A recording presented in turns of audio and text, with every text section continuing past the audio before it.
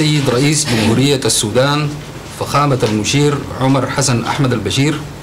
بزيارة رسمية إلى جمهورية جنوب السودان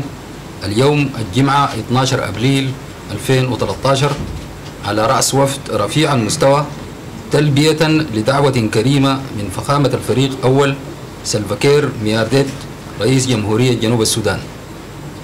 ترأس الرئيسان جلسة المباحثات الرسمية حيث تم بحث كافة الجوانب المهمة المتعلقة بتنفيذ المصفوفة التي تم التوقيع عليها مؤخرا لاتفاقيات التعاون بين الجانبين في أجواء ودية مما أدى للخروج بنتائج إيجابية.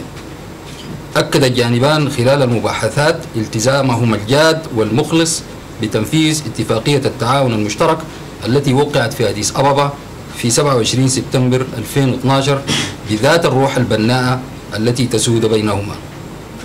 عبر الرئيسان عن رضائهم التام على التقدم في إنفاذ كافة بنود مصفوفة إنفاذ الاتفاقيات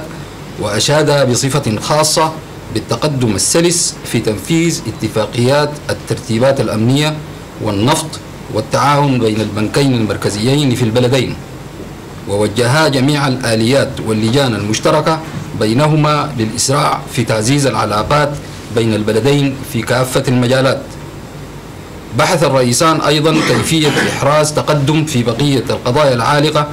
وقررا مواصلة الجهود المشتركة لحل مشكلة أبيي وفقا لمصفوفة إنفاذ الاتفاقيات الموقعة بين البلدين كما أكد الرئيسان عن رضائهما التام عن آلية لقاءات القمة بينهما واتفقا على إنشاء لجنة وزارية عليا مشتركة يرأسها نائبي الرئيس بالبلدين وتضم عددا محدودا من الوزراء لتسريع اتخاذ القرارات لتطوير العلاقات بين البلدين. من جانبه تقدم فخامة الرئيس عمر البشير بالشكر والتقدير لحكومة وشعب جنوب السودان لحرارة الاستقبال الذي لقيه ووفده المرافق. وبالمثل قدم الدعوة لفخامة الرئيس سلفاكير لزيارة الخرطوم قريبا لتسريع الجهود المشتركة لتقوية وتعزيز العلاقات بين البلدين الشقيقين ولدفع جهود التعاون البناءة بينهما جوبا 12 أبريل 2013